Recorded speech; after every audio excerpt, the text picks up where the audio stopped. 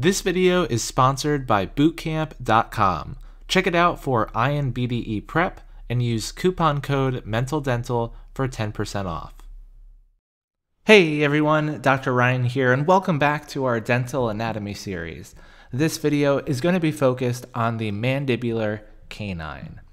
So here we have a picture of the permanent mandibular canine and using the universal tooth numbering system as we've done throughout the series, this would include tooth number 22 and 27. First, I want to set the scene for this video. So this tooth has some similarities to the maxillary canine. So instead of going over every single similarity, I'm going to focus on and highlight the things that distinguish this tooth from the maxillary canine. So one important distinguishing feature is that the mesial surface of the crown tends to form a straight line with the mesial surface of the root. And this straight, let's call it mesial alignment, is almost parallel to the long axis of the tooth. This is very different from the maxillary canine. Now, in contrast, that distal surface is going to be more convex than the mesial surface, which is usually the case for most teeth in the mouth. Also, unlike the maxillary canine, the cusp tip is typically mesial to the long axis of the tooth, instead of in line with it. Now, this is similar. The mesial cusp ridge is slightly shorter than the distal cusp ridge. And a fun fact for this tooth this is the tooth with the longest crown incisocervically of all teeth in the mouth. Also, from the facial aspect, we look at the mesial and distal height of contours, same as a bunch of teeth that we've already seen. Mesial height of contour is at the junction of incisal and middle thirds. Distal height of contour is in the middle third. Now, as opposed to the maxillary canine, and every other tooth that we've talked about so far for that matter, the root apex is typically very straight. About 45% of the time it's going to be straight, 29% it's going to curve to the mesial, and 26% of the time curve to the distal. The same as the maxillary canine, we have these developmental depressions separating the crown into thirds, and the distal developmental depression is a little bit deeper. But don't forget about these imbrication lines that we talked about in the first video. Imbrication lines are common at the junction of the cervical and middle thirds of the crown for this tooth. I guess this drawing ended up looking kind of like a smiley face. But anyway, let's move on. So as you can see from the lingual aspect, you can see a lot of the mesial and distal crown and root surfaces because there's a lot of taper towards the lingual. We see this in many of the teeth. You can even see the linear developmental depressions or root flutes on the mesial and distal surfaces. And those root flutes are providing more surface area for a stronger periodontal ligament attachment. The incisors usually have a lingual fossa, but just like the maxillary canine, we see a lingual ridge instead of a fossa that separates a mesial and distal triangular fossa.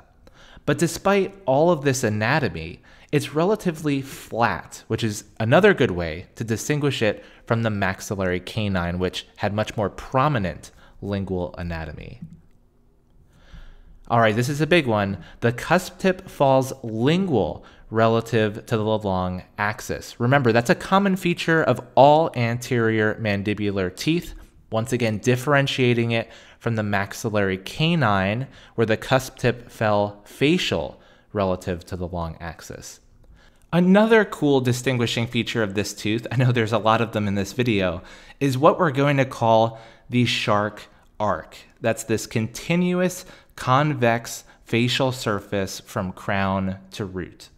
And we have another deep root flute that I mentioned before on this tooth, but the root is already pretty skinny to begin with. So I'll explain why that's important later when we talk more about the root specifically. So this slide should sound very repetitive from what you've seen before, but comparing the distal aspect to the mesial aspect, The distal developmental depressions are going to be deeper, the CEJ or cervical line is going to be flatter, and we also have that concave distofacial line angle, similar to the concavity near the cervical line that I talked about with the maxillary canine, causing that large gingival embrasure. Now, once again, all mandibular anterior teeth are wider faciolingually than mesiodistally, as you can appreciate from this incisal view.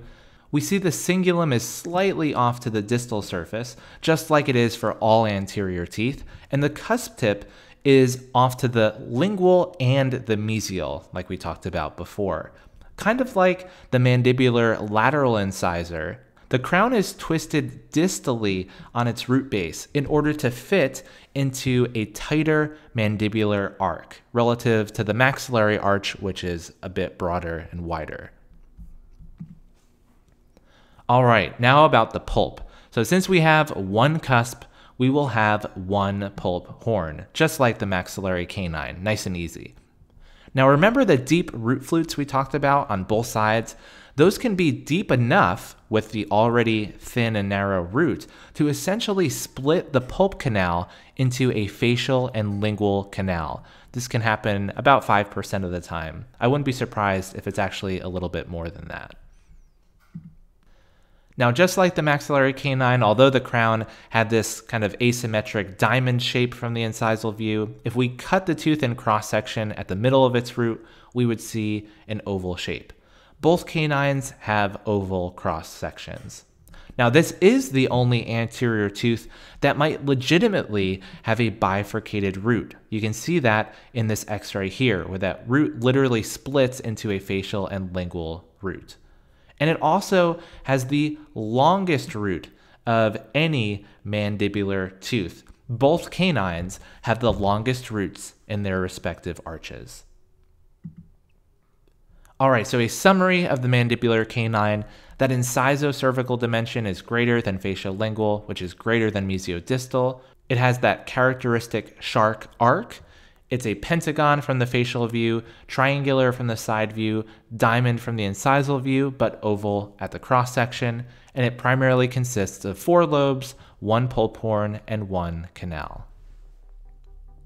That's it for this video. Thank you so much for watching. Please like this video if you enjoyed it and subscribe to this channel for much more on dentistry. If you'd like to support me, please check out my Patreon page. And thank you to all of my patrons for their support.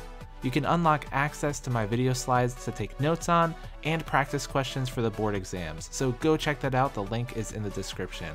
Thanks again for watching everyone, I'll see you in the next video.